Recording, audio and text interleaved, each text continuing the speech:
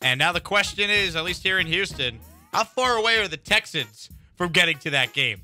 I mean, the Texans got to get to an AFC championship game first. They've never been there in the history of their franchise. But let's be real. A couple of years ago, the Cincinnati Bengals were the worst team in the NFL. Two wins.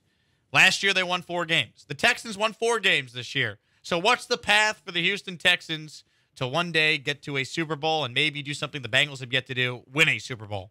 So, not only do they have to figure out the quarterback spot, look, they're going to give Davis Mills this opportunity in 2022. And if it didn't work out for Davis Mills, I mean, we're going to know if the Texans feel like Davis Mills is the guy or not by the end of 2022. And then their actions in that following offseason will tell us, okay, what's the deal? Are they going to go chase one of these young quarterbacks in the draft? Are they going to go maybe try to upgrade some other way, some other quarterback via trade or free agency, something like that? Like, we'll know.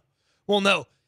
But you know what I'm thinking about too? I mean, we could talk about a ton of stuff with the Texans, but I have no idea. I cannot confidently say today that Lovie Smith is the type of head coach that can get you to the Super Bowl. Mm. Even if your quarterback plays really well, even if you have some guys turn into really nice players over the next couple years, even if you hit on a bunch of these draft picks that Nick Caserio has coming up, I do not know. I cannot confidently say that Lovie Smith is a Super Bowl level coach. The counterpoint to that would be, well, he got to a Super Bowl with Rex Grossman mm-hmm. as his quarterback. The counterpoint to that counterpoint would be, well, that was a long time ago, number one, and the Bears had a much more talented overall roster than the Texans do, number two.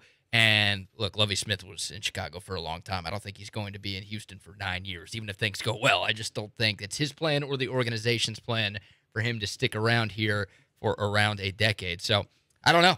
Uh, I don't know if Lovie Smith is a Super Bowl caliber coach right now, and I don't know. Like it doesn't feel like the light is at the end of the tunnel right now for the Houston Texans. I don't know if it's going to be there while Lovie Smith is still in charge. Like this team might be a quarterback away, they might be a head coach away, they might be a lot of things away from actually getting close to playing in that game. I feel like the earliest it could be would be three years, and and that's kind of because you look at this team right now. Is Davis Mills your long term answer at quarterback? I don't think he is. I, think maybe he could be okay, but I don't think he's the quarterback if this team wins a Super Bowl. So if that's the case, let's say they draft someone next year and they follow the the Cincinnati blueprint. Well, then it would be year two of that quarterback when they'd make the jump to the Super Bowl. So that'd be three seasons from now. So I feel like the earliest would be three seasons from now, and that's if they hit on all these picks. They have a great team, and then who knows who the coach is at that point? Is it Lovie Smith? I tend to agree with Cody. I don't think it's going to be Lovie Smith when this team eventually gets to a Super Bowl at some point in its franchise's history, but the earliest I see it would be three seasons from now because I just don't see the path unless they somehow, some way make a move that no one sees coming, or Davis Mills is somehow so much better than any of us are led to believe he's mm-hmm. eventually going to be. Look, there are ways to do this relatively quickly. Uh, Cincinnati's a prime example. I know they didn't win, but uh, they had a lead in the final two minutes of a Super Bowl just two years after being the worst team in the NFL. So there are ways if you make a couple of right decisions, and there's an mm-hmm. S, and there are a lot of decisions that you have to get right to be like Cincinnati, but there's a way that you can do it in this league. The tough part about thinking you could be the Bengals is you look at this Bengals roster, you look up and down at where they got some of these guys, where some of these guys came from that were key aspects of their team. And I'm not talking necessarily about the superstars. I'm just talking about guys that made key plays over the course of a season, over the course of a playoff run. Tyler Boyd's a second round pick. Joe Mixon's a second round pick. Sam Hubbard's a third round pick. Jessie Bates is a second round pick. And all these guys were T. drafted. Higgins, second round pick. All these, the, the, guys that I'm talking about right here were drafted in 2016, 2017, 2018. We're talking about the Texans not even having guys off of some of those draft classes still on the roster. Like the Texans are working from a net negative on their overall talent level, not to mention the success that Cincinnati's had in recent years, like Jake's talking about with Tee Higgins. Like you're really working not even with an advantage post the Deshaun Watson trade from a capital infusion, a capital uh, in you know talent infusion with this team because you're working from a net negative from the past few seasons when Bill O'Brien was missing on draft picks when heck even the the final little bit of Rick Smith has missed on draft picks like you're working from a net negative that you then have to get even again because you had these trades that did not net you big time players and did not play off from the value that you sent out and the value that you brought back in. So you're you're you're a lot further away, even in their best case scenario, than two or three years. I mean, un- unless Davis Mills is just covering up a ton. I mean, think about what Cincinnati has. Not even the Rams situation. Like you can't even pretend that you're close to the Rams situation. You tried that, like you you missed on all the trades. You can't even pretend like that. They've got the best player on defense in the National Football League over on the site. You had that a couple years ago when JJ was here. It didn't work. You didn't get there. It didn't happen for you. So you can't even pretend you're the Rams situation. So even in Cincinnati, like I mean, they nailed it at quarterback, but they've nailed it in so many other different positions. And then they they were able, with the way that they spent money in a very wise way over the past two seasons, to supplement those things.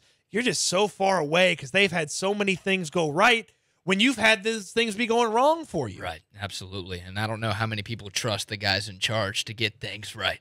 There's a lot of cleanup here. Now, the Bengals aren't a one off. I feel like a lot of people have said, "Oh, you can't be Cincinnati because that never happens. It, it, that's never happened before." It's happened before in the NFL where a team has gone from super dysfunctional, looking like they've got no chance to be relevant in any time in the not too distant future, to winning a Super Bowl in relatively short order. It happened less than five years ago with the Eagles, man. I mean, Chip Kelly was Bill O'Brien before Bill O'Brien was Bill O'Brien. Atrocious. The moves that that guy made, I mean, he ran the Eagles franchise. We thought he was running that Eagles franchise into the ground. He traded all of their best players. He was going YOLO mode when it came to draft picks. He seemingly ruined that franchise, and people are like, dude, it's going to take the Eagles 5, 10, 15 years to get out of this hole that Chip Kelly just dug. Two years later, they win the freaking Super Bowl. All right? Like, it can be done. The Rams in 1999, the first time they won a Super Bowl. Man, they had four wins the year before. They lost Trent Green to an injury. Everybody's like, dude, they're not even close. It's going to take them a long time to get there.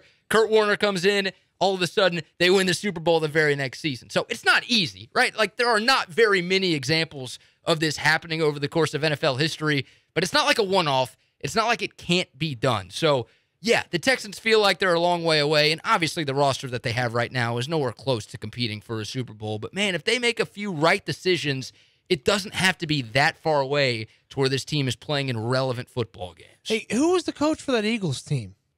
Doug Pederson. Could, it, where's he? Oh, could, could the Texans have hired him? They probably could have hired Oh, him. They could have at least interviewed. Man, he was he he didn't have a team for this year, did he? Huh? They did not. Oh man, that's a shame. coach and quarterback. If you don't have that, you don't have a chance. You don't see a bad coach win a Super Bowl. Who's the bigger question mark, Lovie or Davis Mills? Mm, I think it's Lovie.